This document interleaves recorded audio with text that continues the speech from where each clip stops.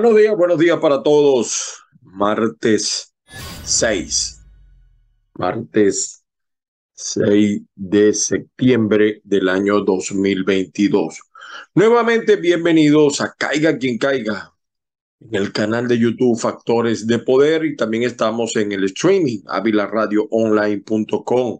Estamos en Spotify, en Spreaker.com. Estamos en los podcasts de Google, de Apple y por supuesto en Instagram. Yo soy Ángel Monaga. Eh, mi WhatsApp 561-379-5254. Mi correo gmail.com Digo todas estas cosas porque a veces hay gente que eh, uno recibe denuncias. A veces tarda más en responder, pero uno trata en, lo, en la medida de lo posible, del poquito tiempo que te queda disponible, investigar.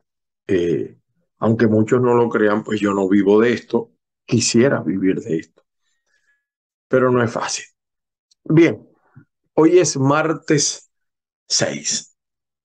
Fíjense, saludando a todos los que están a esta hora en sintonía. Hoy quería hacer, me voy a tratar noticias y quiero hacer unos comentarios también por el tema de Chile en Venezuela o los venezolanos tenemos que enseriar las cosas. Tenemos, y estamos llamados a eso, los que decimos, los que profesamos una ideología, una manera de ser distinta a los que han gobernado durante 23 años.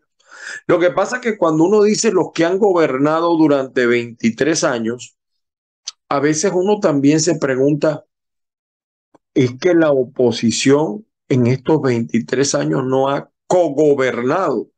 De alguna manera, algunos factores de la oposición no le han servido al régimen.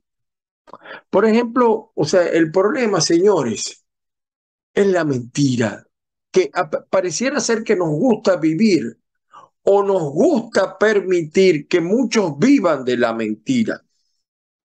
El gobierno de Guaidó es una mentira. Eso es una mentira. Ese gobierno no existe. La Asamblea Nacional 2015 murió hace mucho. Yo no estoy diciendo, porque entonces interpreta, no, que tú estás a favor de... No, yo no estoy a favor de Maduro ni a favor de la Asamblea Nacional 2020, pero es lo que tenemos. Entonces, si nosotros seguimos cultivando la mentira, no vamos a resolver nuestros problemas. Lo primero que tenemos que hacer es enfrentar la mentira. Señor Guaidó, usted no es presidente de nada. Usted es presidente para agarrar un poco el real eh, eh, eh, con el procurador que tiene, con los asesores que tiene y, y, todos los escándalos de corrupción alrededor. Esa es la verdad verdadera. Guaidó renunció cuando decidió lanzarse es candidato a las elecciones del 2024. Entonces, ¿cómo una persona que quiere ser candidato dice que es presidente? Mentira. Eh, sobre todo, sobre todo, eh, que su enfoque es, es candidatural, es político electoral. No es de un hombre que gobierna porque no gobierna nada. No se mueve la hoja de un árbol en Venezuela sin que el señor Nicolás Maduro y el chavismo esté de por medio. Esa es la verdad verdadera. ¿Por qué nos duele admitir eso? No existe un gobierno interino. Entonces, mientras los venezolanos no asumamos esa verdad y los que dicen ser la oposición no asumen esa verdad, no vamos a empezar a resolver nuestros problemas. Allí tenemos el problema eléctrico. ¿Por qué? Porque seguimos en la mentira. No, o sea, no se trata en este momento de buscar responsables del tema eléctrico. ¿Por qué no tenemos electricidad? Muchas veces lo hemos dicho. Ahora, el problema es que entonces hay factores que están hablando de elecciones y montados en primaria, pero carajo, ¿cómo vas a hacer primaria en un país que está en ruinas, en un país que se muere de hambre, en un país donde no hay seguridad, en el país donde más de cuatro o cinco millones de venezolanos, quizá mucho más, estoy haciendo una cifra al voleo, no tienen electricidad, se les va un día sí, otro también, donde la gente pare para comer, entonces, no, pero Venezuela mejoró. Y mira, y vino Wisin y Yandel, le pagaron un millón ochocientos mil dólares, y, vino el Puma, y vino tal, y vino cual. Entonces, ¿cuál normalidad? Seguimos en la mentira. La mentira no puede seguir gobernando a Venezuela. Fíjese, eh, eh, yo estoy viendo las noticias, por ejemplo, del Zulia, sin electricidad, pero ya se nos olvidó la muerte de Paul Moreno y el escándalo de Paul Moreno. Que lo que tienen que pedir los que dicen que son oposición y los que se dan golpes de pecho de oposición, pidan reabrir el juicio contra el señor o el joven Omar Barrios. Ah, pero no lo hacen porque el papá es un empresario poderoso y financia medios y financia figuras políticas entonces, ya salimos de una mentira para entrar en otra. Ahora es el tema eléctrico, que ciertamente es un problema. Entonces, se dan cuenta, vivimos como en una moda y no terminamos de resolver los problemas, porque todo lo tratamos así. No hay permanencia. Fíjense que en Estados Unidos el tema de Donald Trump sigue siendo el tema. Y la investigación y Donald Trump va para adelante, constante en su cosa como debe ser un político serio. No hay seriedad en nuestro político. Entonces, ya nadie, ya se olvidaron del, del tema de Paul Moreno, no por el nombre de una avenida, eso, eso eran payasadas. No, el problema no es el nombre de una avenida, el problema es la injusticia con la decisión que se tomó. Pidan reabrir el caso, que haya un nuevo proceso, Ah, pero eso, chico, ahora es el tema eléctrico. Y entonces nos vamos al tema de, de Chile. Ah, bueno, en Chile, entonces salen los políticos, ahí está Chile, el comunismo y tal. Mire,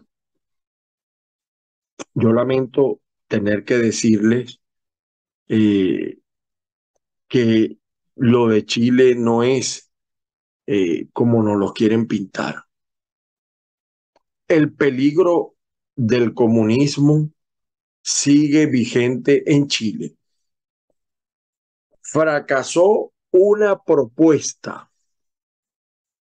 Fracasó una propuesta. No quiere decir que no venga otra. Ah, bueno, yo celebro lo que pasó, pero mm, a veces queremos enredarnos y autoengañarnos con lo que se aprobó o con lo que rechazó el pueblo chileno.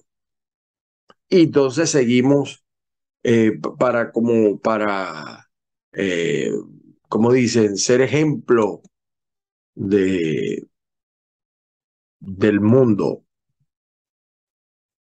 para llamar la atención del mundo. Entonces, fíjate, Chile rechazó el comunismo. No es verdad. No es verdad. El comunismo es una realidad en el pueblo chileno. Se rechazó una propuesta, vendrá otra. El comunismo no juega carritos. El comunismo, a diferencia de la oposición, que muchas veces es más bulla que cabulla, el comunismo está claro hacia dónde tiene que apuntar y, y, y, qué es lo que tiene que buscar. No se engañe o no se autoengañe. En casi un 80% los chilenos votaron a favor de reemplazar su carta magna. Eh, la, actual, la actual constitución, la que sigue vigente, y es allí el punto de, de discusión, eh, se creó durante la dictadura de Augusto Pinochet, con algunas partes eh, es decir, ya no incluye algunas partes antidemocráticas como la que originalmente creó el dictador Pinochet. Eh, y, pero, pero su cambio es un paso necesario aún para la conversión de Chile en una sociedad genuinamente democrática, dicen algunos chilenos. Eh, el texto de la constitución chilena, 388 artículos, fue controversial y, y, se, y se, ha visto como desinformación. Eh, y, tiene derechos que incluso son polémicos eh, desde el punto de vista político. En julio, la convención constituyente, con una mayoría, por supuesto, de izquierda, porque ganó Boric, terminó una propuesta. Y este domingo pasado, un 60% de los chilenos consideró que no era la indicada, la indicada y rechazaron eh, la propuesta eh, en un plebiscito. Eh, fíjense que a diferencia de lo que pasó con la constitución venezolana, uno de los temas más controversiales de discusión fue el referente a los de los asuntos indígenas. Eh, porque en el proyecto al que sometieron, que sometieron a plebiscito, eh, eh, había convertir a Chile en un estado plurinacional y que le brindaba autonomía en materia territorial y de justicia a los pueblos indígenas, que es el 13% de los 19 millones de habitantes que tiene Chile, país pequeño. ¿Qué puede pasar ahora? Bueno, Gabriel Bori Cualquier parecido con Hugo Chávez es pura coincidencia. Eh, él apostaba por la aceptación de la nueva constitución para, para, para concretar su visión de país.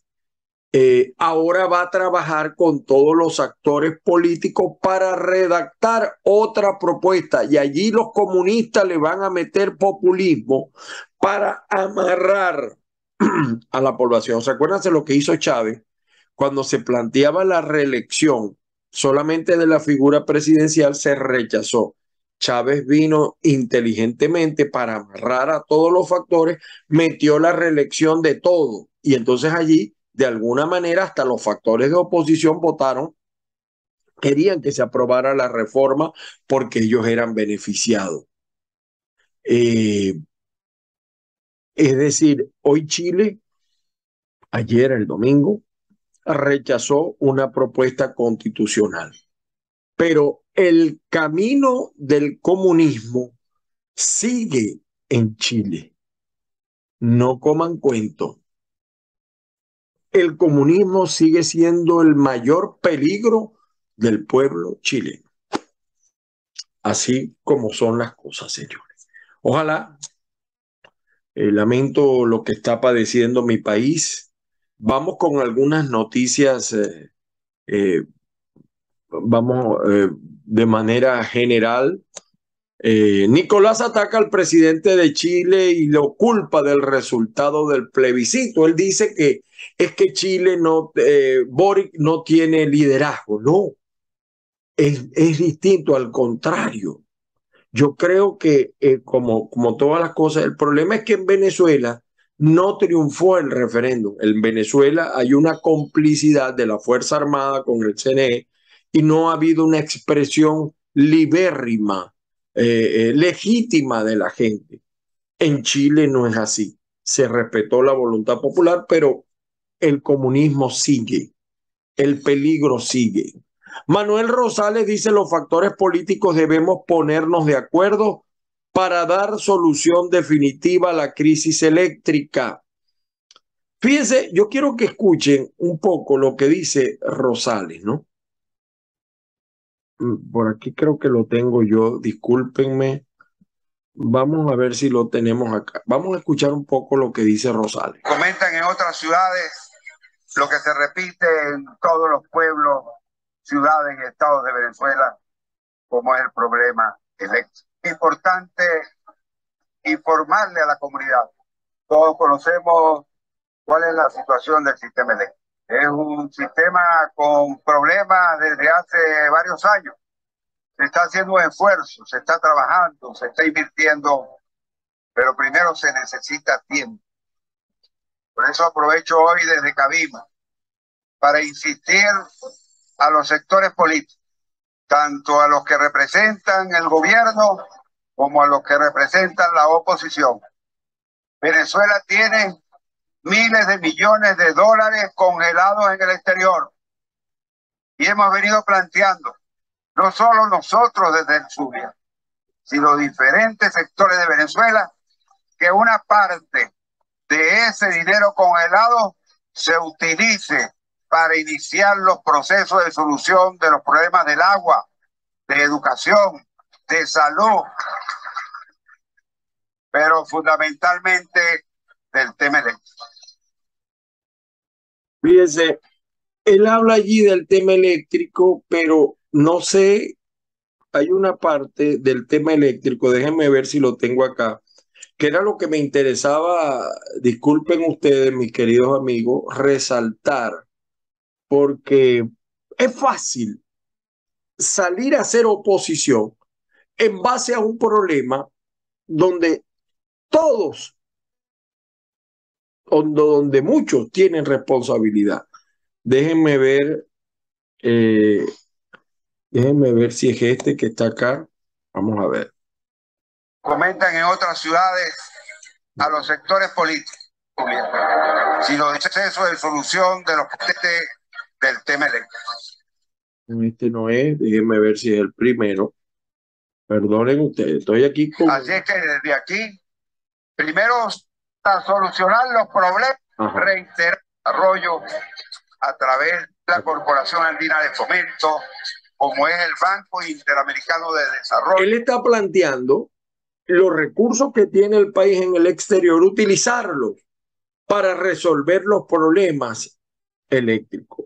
Allí más o menos ubico la cosa. A través de instrumentos que establece la ONU. De tal manera que desde el Zulia reiteramos la necesidad de ese gran acuerdo para solucionar los problemas de la gente. Ya está bueno de la politiquería, de la peleadera, de la división. La gente quiere solución a sus problemas, solución utilizando recursos congelados en el exterior. Fíjense, yo tengo que decir esto, caiga quien caiga. En esto Rosales tiene razón. Entonces hay algunos sectores que quieren ganar centimetraje que no han dicho ni pío sobre el problema eléctrico y sobre otros problemas, el caso de Paul Moreno y, y su muerte. Y entonces ahora salen dando dándose golpes de pecho. Y Rosales, un Rosales cuestionado, un Rosales mm, en parte comprometido con una gestión, sale a decir algo que yo tengo, mire, asumo esto, pues. Tiene razón Rosales, tiene razón. ¿Hasta cuándo la politiquería, la gente? O sea, yo por eso a veces peleo, porque el sector político sigue desconectado de la gente. La gente del Zulia no quiere más discurso, quiere soluciones. Rosales está lanzando una propuesta. Yo no sé si será viable o no será viable. Para muchos no es viable, hablan de un guiso, etcétera. Pero es un, un, planteamiento. Tener los recursos del exterior y materializarlos. ¿Es o no mejor traer esos recursos que están en Inglaterra y utilizarlos en el problema eléctrico que los administre un gobierno interino cuestionado con figuras como Leopoldo López, Lester, etcétera, con todos los escándalos que han sido envueltos. O sea, pregunto yo. Entonces, es el análisis serio, pero análisis serio que, tenemos que hacer la sociedad venezolana del manejo de recursos. Ah, bueno, el problema es que como en Venezuela no hay justicia, si de repente esos recursos llegan, se van a, volver sal y agua. Eso también tenemos que discutirlo. Pero esta propuesta de Rosales me parece más seria, aunque probablemente no sea la más viable, para resolver el gravísimo problema eléctrico. En, Ayer creo que leí también a Juan Pablo Juanipa que decía una gran verdad, Juan Pablo también. Esto demuestra que es mentira que hay normalidad en Venezuela. Es mentira, es una mentira. Aquí se reitera una vez más que no hay normalidad ninguna. Es mentira que Venezuela ha mejorado. Es mentira que el país ha cambiado. Es mentira. Y lo están diciendo los propios actores que hablan de que Venezuela ha mejorado. Ah, bueno, está menos mala que antes. Eso sí, eso sí, eso es distinto, completamente distinto. Y yo asumo, porque entonces aquí van a decir, está defendiendo a Rosales, y ustedes saben que en este canal le han dado muy duro a Manuel Rosales. O sea, yo soy, yo, a mí me gusta ser, eh, a mí no me gusta la mentira pero yo tengo que ser serio a la hora de discutir las propuestas de lo que está padeciendo mi gente. Vayan a ver cómo están los hospitales. Hablamos del problema eléctrico. Vayan a ver cómo están las escuelas. Es mentira. Allí tiene razón Juan Pablo. Pues. No hay ninguna normalidad. El problema es que han callado. Porque primero justicia, Juan Pablo dice eso, pero ellos también tienen alcaldes que se han callado también. Ah, porque es que si tú enfrentas a Nicolás, te quitan los recursos. Y, y, y hay que entender también eso, pues, yo, o sea, el que está, si estamos de acuerdo en que había que gobernar y que había que tener una parte, una presencia, entonces es un debate interesante, señor. Eh, a eso es lo que me refiero. Y por eso les digo que, fíjense cómo le venden a la gente, no, que en Chile, no, en Chile nada ha cambiado, como nada ha cambiado en Venezuela porque no somos serios con los temas. Entonces, tres días de apagones en Venezuela, en el Zulia. Tres días con temperaturas de 45 grados. Ah, entonces el problema no es salir a decir, el Zulia está destruido, eso, no, ya sabemos los problemas. Vamos a hablar de soluciones. ¿Cómo solucionamos? ¿Cómo resolvemos? Ya el diagnóstico lo tenemos todos. Esa es la verdad. Me disculpan y me perdonan. El Nacional dice hoy, la inflación superó en 12 puntos la de julio. Nada que nos sorprenda. Eh, ahora, pero fíjense, entonces no, no, ahora, entonces ahora hay Ferry Express de Guiria a Trinidad y Tobago.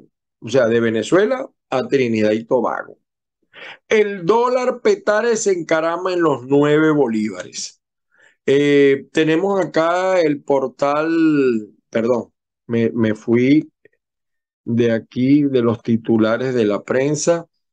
El diario de eh, el régimen, consejos comunales renovaron liderazgo a carajazos, a golpe, se dieron por todos lados pero ellos hablan de la democracia interna. Yo no sé a quién engaña.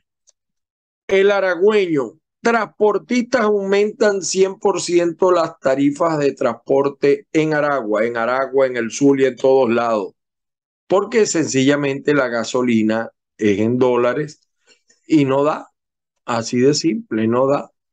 El diario La Prensa de Lara un Expo y UPEL sin recibir notificación por multa del TCJ, los rectores de la universidad que cuestionaron el decreto, entonces ahora los van a, los quieren silenciar.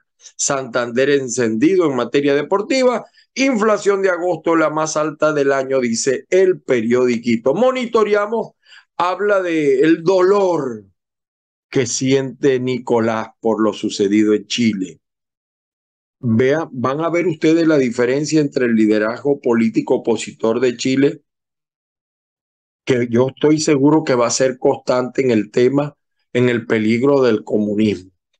Ahí está Lula ganando en Brasil todavía. Tres toneladas de marihuana, el mayor al hijo en 10 años, eh, eh, las agarraron por Falcón. Esto es para desviar la atención de la verdad de lo que ocurre en Venezuela. El diario tal cual digital. Tenemos migrantes en India o China que no aparecen en registros. A Maduro le dolió que los chilenos, los chilenos decidieran rechazar una nueva constitución. Eh, el diario tal cual digital. Eh, por su parte, el portal El Espectador sale la gente de Fuerza Vecinal, pide fecha para las primarias de la oposición. Insisto, insisto, primarias cuando estamos en el cuaternario venezolano. O sea, e, es lo que yo a veces digo, que los caballos están detrás de la carreta. Primero yo creo que hay que resolverle los problemas a la gente o dar muestras de ello.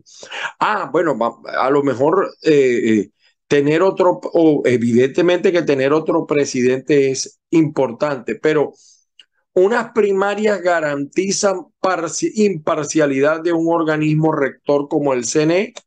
Tercera noche seguida en penumbras, maravinos vuelven a reportar apagones en sectores de la ciudad, dice versión final. El diario, fíjense, el nuevo Herald, para que vean ustedes cómo está la cosa en Estados Unidos. La justicia de Estados Unidos decide que un perito supervise los documentos de Trump, pero Trump es un caballo de batalla, no va para atrás, no va para atrás. Les sigo mostrando cómo está esto acá en Estados Unidos. Vean lo que es una justicia que funciona. La mesa está servida para las elecciones en noviembre. Demócratas, eh, el símbolo del elefante y del burro simboliza los partidos eh, republicanos y demócratas. Y miren esto, condenan en Florida político por crear candidata fantasma. Eh, lean la noticia, tiene que ver con un, crearon una candidata en un sector, vamos a decir, de los indios, y la candidata no existía, pero fue, fue para frenar a otro, y el tipo, al, al responsable lo condena. Así es la justicia acá en este país. Hay corrupción, pero también hay justicia. Y cuando la opinión pública agarra el tema, no lo suelta. Son más serios en eso. Eh, aquí sigue, siguen las acusaciones contra el comisionado de Miami, Joe Martínez. Lo están acusando por un presunto pago ilegal al eh, eh, comisionado de Miami, un alto cargo, de paso. El diario La Opinión, también de acá de Estados Unidos, miren el tema. Vamos a llegar a otro planeta.